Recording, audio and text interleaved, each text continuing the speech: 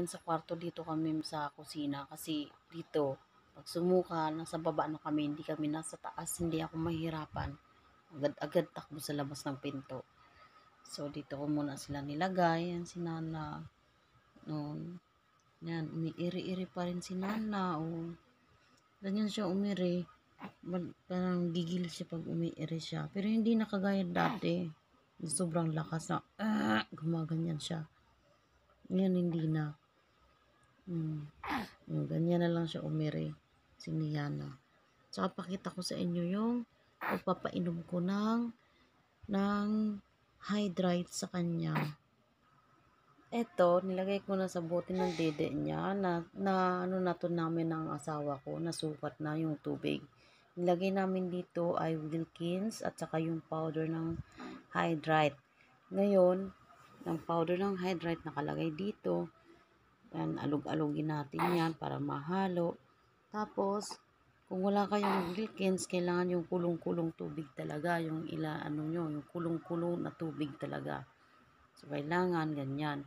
So, lagay natin, papainom natin kay Liana kasi nagpupupo siya. Kailangan niya nito after niya magpupo.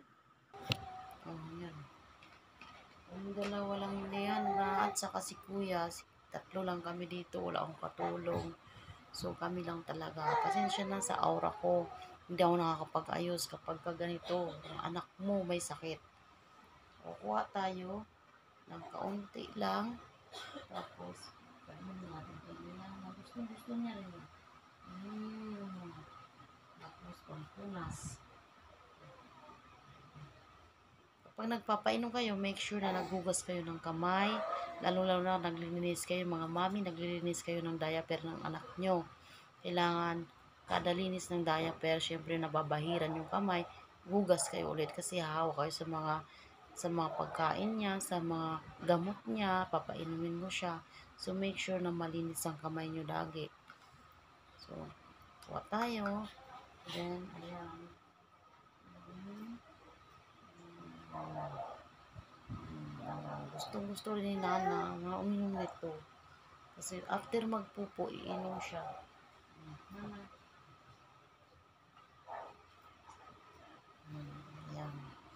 So, ganyan lang po kami. Tapos, sasara ko to. Pagka inabutan natin ng kinabukasan, hindi ko na ipapainom kasi baka contaminated na naman. Baka mamaya ano na naman magkasakit na naman, magawa ulit tayo ng bago.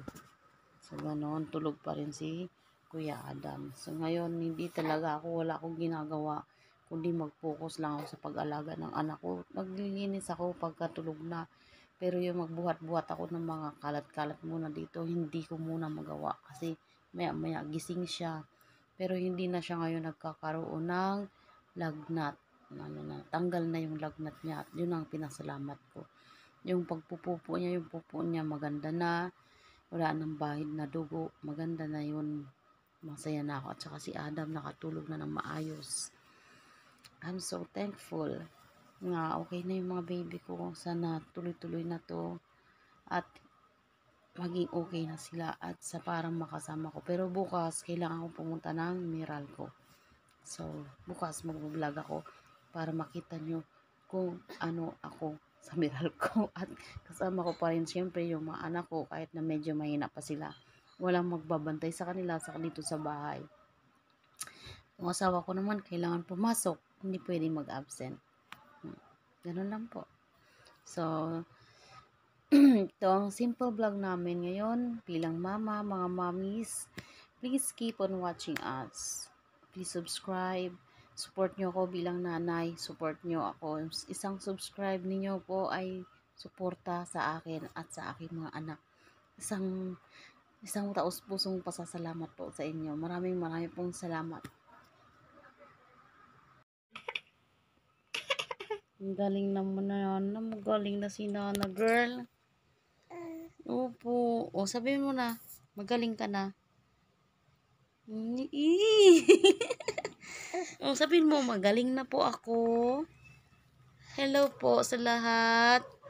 Ako po si Niana. Yana. Mm, Kasakit po ako. Nagkaroon po ako ng protozoa. po ako. Opo. Pero mahina pa po ako. Opo, ganun po nangyari sa kanya. Hmm, ganyan nangyari sa kanya. Palo mo yung mga bad protozoa. Palo ni nanay yung mga bad protozoa. Hindi na natin. No. Palo, eh. Hmm.